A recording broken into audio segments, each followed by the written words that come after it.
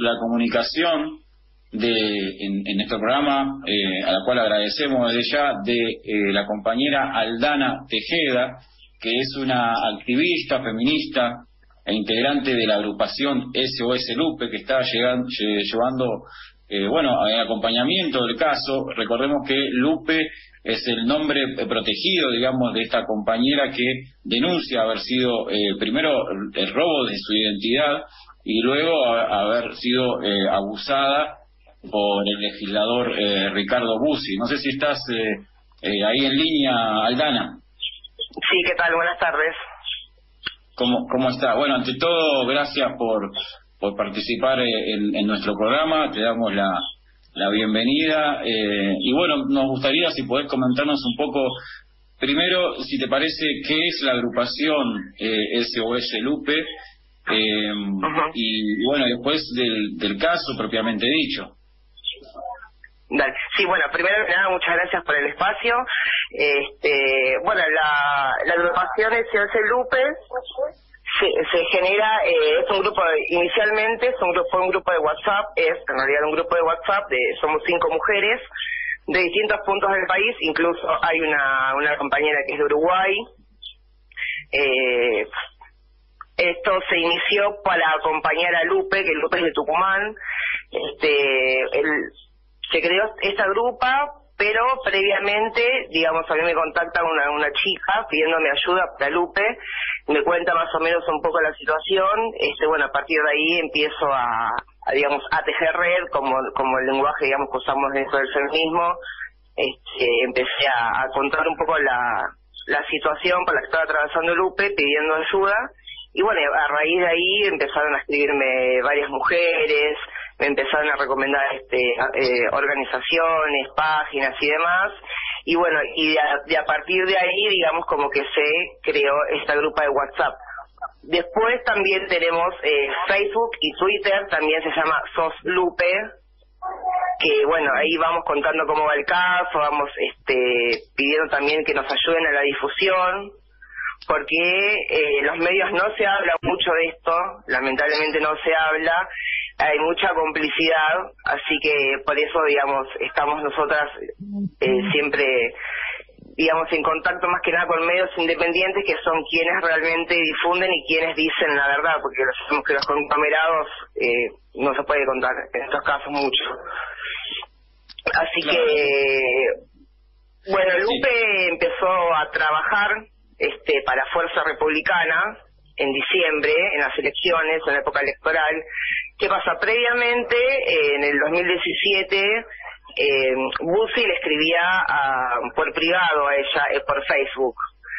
Este, en una, digamos, de, de, las conversaciones, él ofrece eh, abogado gratis porque ella había sufrido este violencia de género por parte de su expareja, eh, le había quemado el rostro y, el brazo. Entonces, bueno, él, digamos, le ofrece abogado gratis y también este, trabajar para Fuerza Republicana. Bueno, ahí este, a ella le, le usurpan la identidad, este, le ponen, le abren en realidad una cuenta más porque ella estaba inscrita como monotributo social, eh, se da cuenta en realidad cuando deja de, recibir la asignación universal, entonces ahí, digamos, eh, le pregunta a, las, digamos, del lenguaje esto, a, a las punteras políticas de ahí del partido este qué pasaba con su asignación y le dijeron que bueno que se iba a solucionar cosa que, que no sucedió siguió todo así. Este bueno averigua y se entera que tiene una cuenta a su nombre y que tenía dinero eh, 600 mil pesos bueno esto fue en el banco Itaú de allá de Tucumán. Y bueno empieza ella a gestionar reclamos para que le, que le la asignación. Y bueno, como no sucede, Bussi le dice que se acerque al despacho de la legislatura para solucionar todo este tema.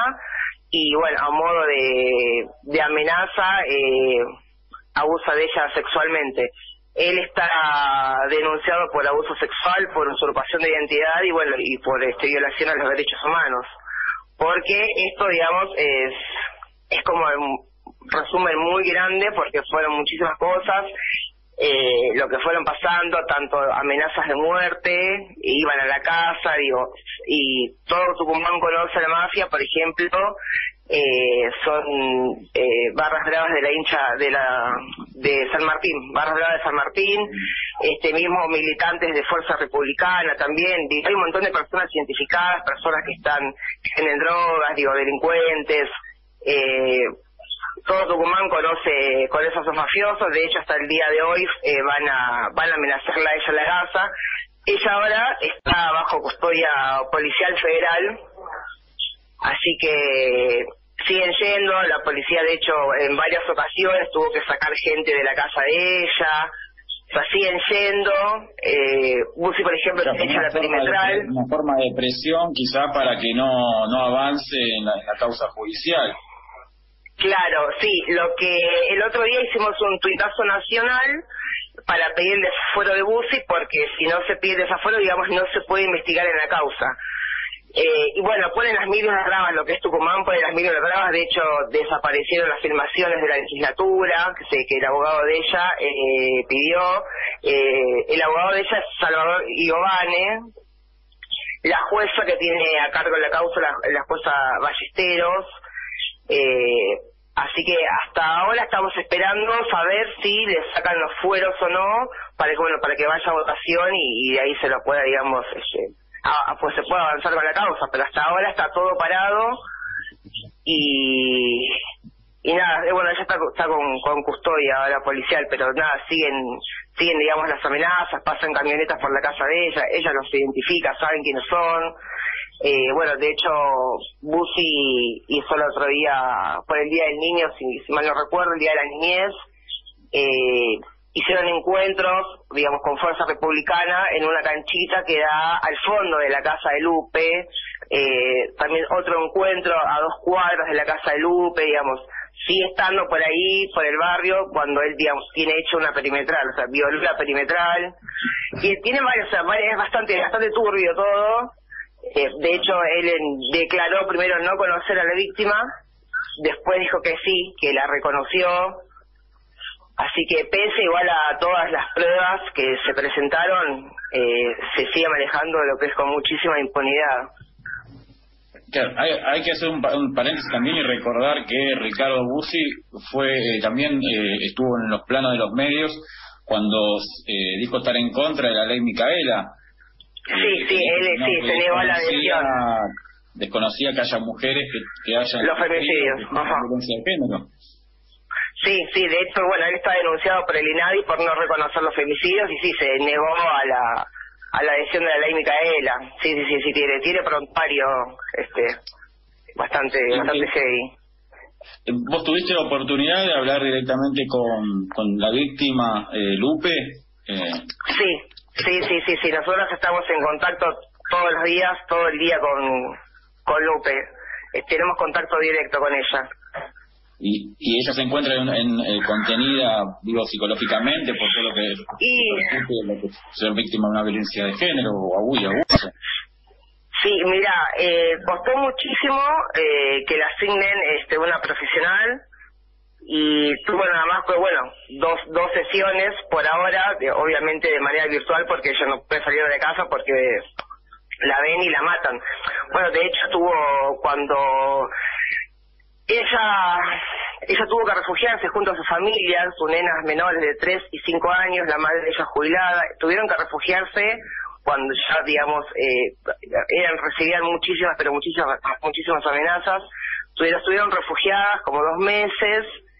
Eh, te digo porque estoy como quiero llevar un orden pero me, me porque tantas tantas cosas viste pero te, cuento lo de la salud de ella y después retomo lo anterior. Ella bueno nada eh, tiene estrés postraumático eh, poco apetito vive con pesadillas eh, cuesta muchísimo conciliar el sueño y ayuda profesional costó muchísimo conseguir se la asignaron hace muy poco eh, y nada está ahí, pero la verdad que es muy fuerte, es muy fuerte todo lo que está pasando, por eso siempre pedimos que nada, que se trate de difundir el caso para que también eh, nos acompañen, para que se puede, que llegue a donde más se pueda para que, que nada, que tenga justicia, porque o sea, hasta el día de hoy la siguen amenazando, ¿entendés? Es, terrible lo que está pasando. Eh, y bueno, claro, hay de hecho, una, una, cuestión de impunidad también. Sí, terrible, terrible, terrible, terrible. político que, bueno, sí. hace todo mucho más difícil.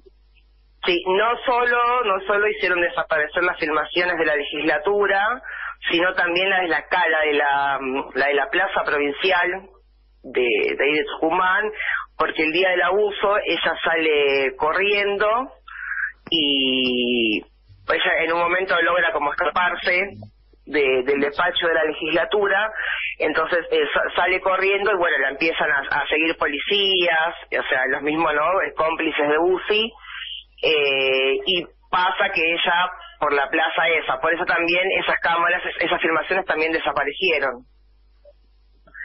Eh, bueno, cuando ella junto con su familia estuvieron refugiadas, eh, la casa de ella quedó pero totalmente desprotegida, eh, se hicieron hicieron juntadas, eh, se encontraron eh, resto de cocaína, botellas de alcohol, eh, ropa que no eran no eran de ellas, le robaron la secarropa, colchón, cama, trazadas, eh, les descuartizaron al gato, encontraron una, insignia policial, le dejaron un mensaje escrito con aerosol en la pared, aquí estamos, eh, así que cuando ella ella junto a su familia vuelven a, a su casa eh, bajo la custodia policial eh, se encuentran con todo eso hay fotos o sea y también ella está siendo acompañada eh, con Ni Una Menos Tucumán y bueno, y también un montón de organizaciones de allá de Tucumán.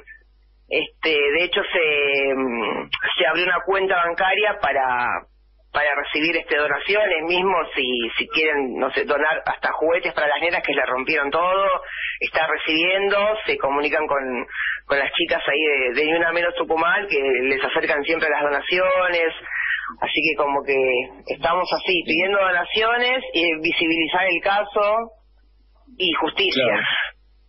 Sí, en, estos momentos como que la, la, la, pata social es lo más importante para que esto no quede no quede impune, porque seguramente no no no es el, el único caso.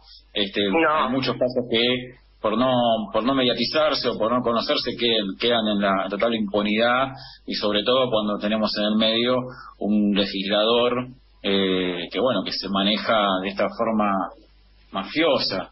Eh, yo me, gustaría que después nos comparta para que los oyentes y todos podamos eh, poder saber más del caso y apoyar cuáles son las redes sociales en donde uno se puede bueno, ya te digo, eh, comunicarse, comunicarse y apoyar esta eh, este tema.